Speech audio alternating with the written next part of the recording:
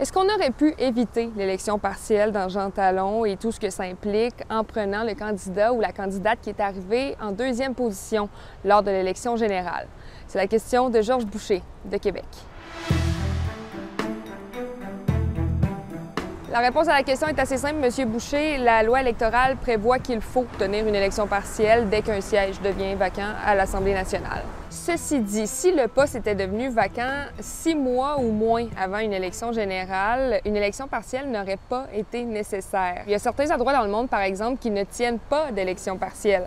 Ils ont plutôt des candidats suppléants, mais ces pays-là ont des modes de scrutin différents du nôtre. C'est notamment le cas de pays européens comme la Belgique ou la France, par exemple, où l'on prévoit toujours l'élection d'un candidat suppléant en même temps que l'élection d'un député.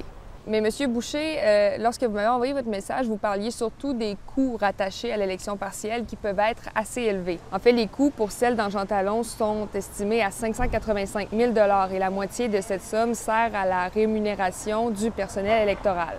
Mais entre vous et moi, l'argent n'est pas une raison suffisante pour éliminer les élections partielles. Et d'ailleurs, selon un politologue à qui j'ai parlé, le retrait du projet autoroutier du troisième lien a un grand rôle à jouer dans cette élection. Souvent, on reproche aux élections euh, complémentaires de ne pas avoir d'enjeu. Cette fois-ci, il y a un enjeu local, puis, puis c'est un test évidemment sur la satisfaction de la population à l'endroit du gouvernement. Autrement dit, le 2 octobre prochain, les électeurs de Jean Talon auront la possibilité d'envoyer un message aux élus avec leur vote. Ce qu'Élection Québec m'a dit, c'est que de leur côté, ils recommandent de tenir des élections partielles à date fixe, donc à deux moments dans l'année, au printemps et à l'automne.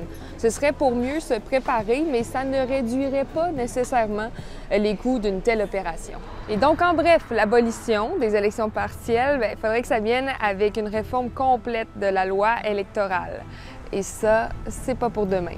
Donc, électeurs et électrices de Jean Talon, je vous invite à aller voter.